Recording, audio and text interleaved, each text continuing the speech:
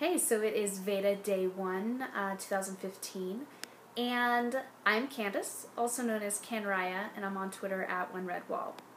So I've done Veda maybe five, I think this is the fifth year that I've done Veda, and true to form, I'm doing it at the very last possible minute.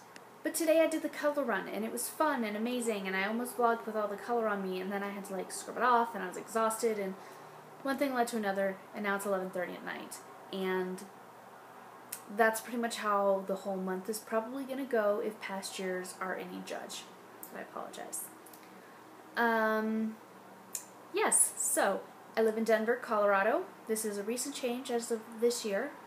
The previous several years, I was in a small town, a couple hours away from here, and so far, it is a really great change. I'm really excited about it.